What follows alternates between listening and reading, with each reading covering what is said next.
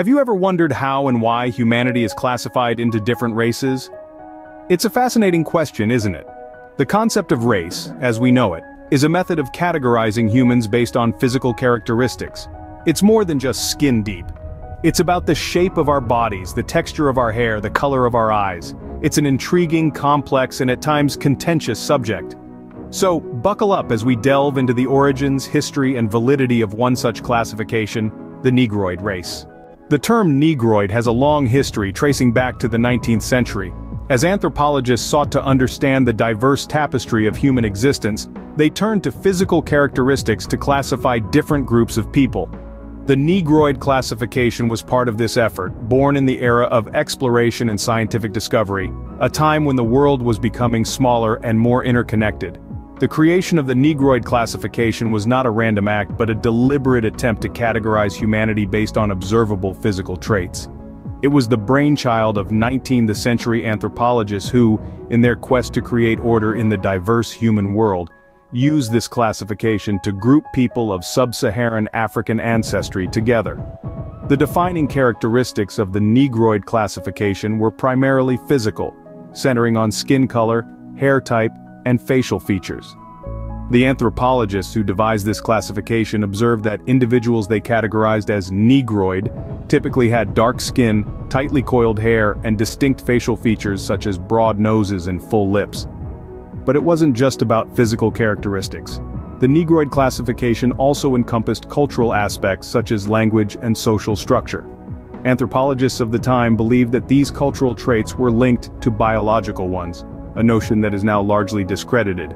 It's important to remember that this classification was a product of its time.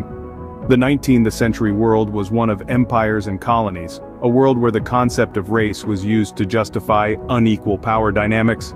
The creation of the Negroid classification, and others like it, was influenced by these societal factors as much as it was by the scientific curiosity of the era. While the Negroid classification did provide a framework for understanding human diversity, it was a simplistic one. It reduced the rich complexity of human existence to a few physical and cultural traits, failing to capture the full spectrum of human variation. This classification, however, was not without its controversies and debates.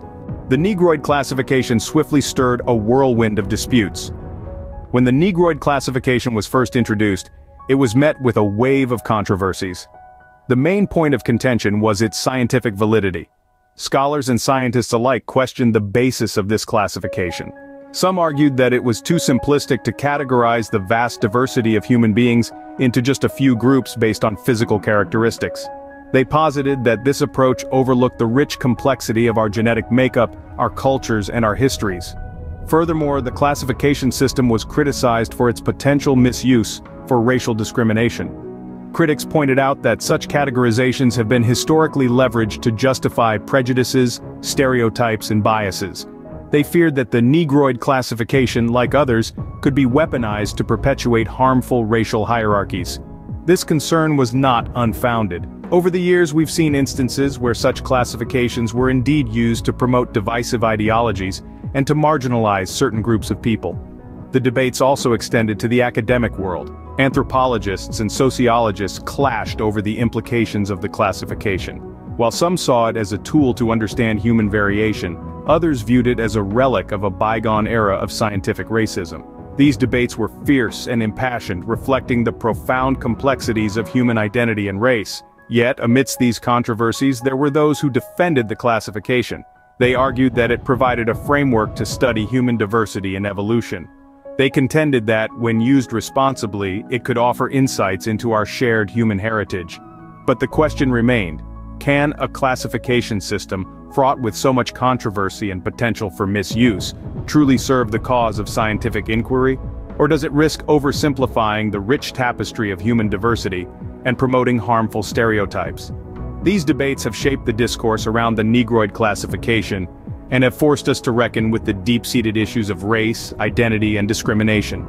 They've made us question our understanding of human diversity and challenged us to seek better, more nuanced ways of studying it. Yet despite the controversies the classification managed to persist. The Negroid classification, controversial as it may be, has had a profound influence on anthropology and society. Despite the debates and controversies surrounding its validity, the Negroid classification has shown a remarkable persistence in anthropological studies. It has held sway in shaping our understanding of human variation and race.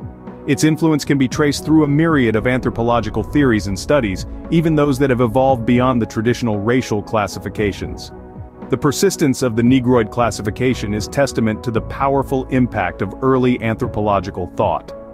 Its influence seeped into various branches of anthropology, from biological anthropology to cultural and social anthropology. It influenced how scholars studied human variation, how they interpreted the differences, and how they constructed narratives about human history. But the influence of the Negroid classification did not stop at the academic level. It reached far beyond the walls of research institutions and classrooms, affecting societal perceptions of race. Ideas about race, based on these classifications, have found their way into our social and cultural fabric. They have shaped our interactions, our policies, and our understanding of each other. The Negroid classification, along with other racial classifications, has contributed to the creation of stereotypes and prejudices. It has influenced how different races are perceived and treated in society.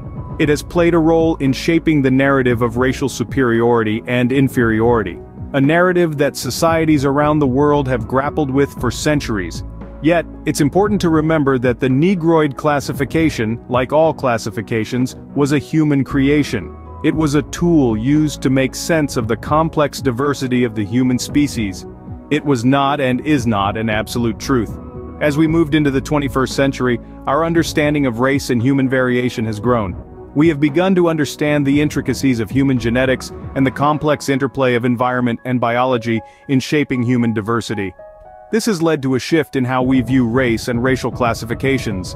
But, as science advanced, so did our understanding of race and the Negroid classification. Fast forward to the 21st century, our understanding of race has drastically evolved. With the advent of modern science and technology, we've been able to delve deeper into the mysteries of human genetics and diversity, causing us to question the validity of classifications like the Negroid classification. In the past, physical anthropologists relied on visible physical traits, such as skin color, hair texture, and facial features to categorize human populations. However, our contemporary understanding of genetics tells us that these traits are not reliable indicators of genetic similarity or difference.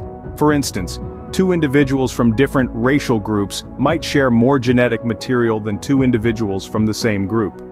This realization has led many scientists to argue that race is more of a social construct than a biological reality.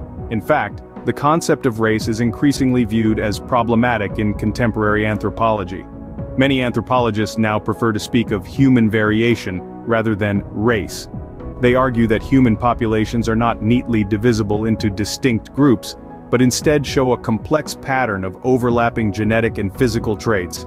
This reflects our shared ancestry as a species, and the fact that human evolution has been a continuous, ongoing process. Moreover, the concept of race has been criticized for its historical misuse.